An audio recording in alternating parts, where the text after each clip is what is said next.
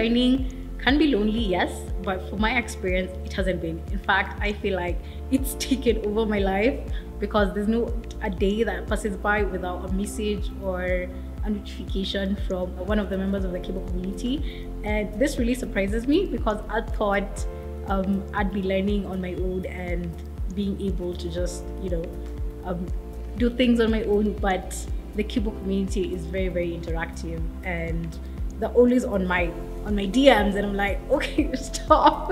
I know that I'm because that's actually true.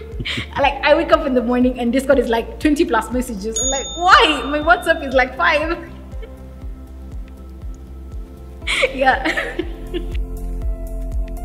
it's really enjoyable that I actually get to have so many DMs.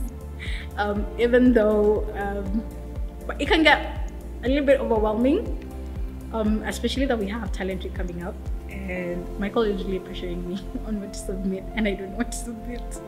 But yeah, it's been a really um, exciting experience and a very enjoyable one and definitely not lonely.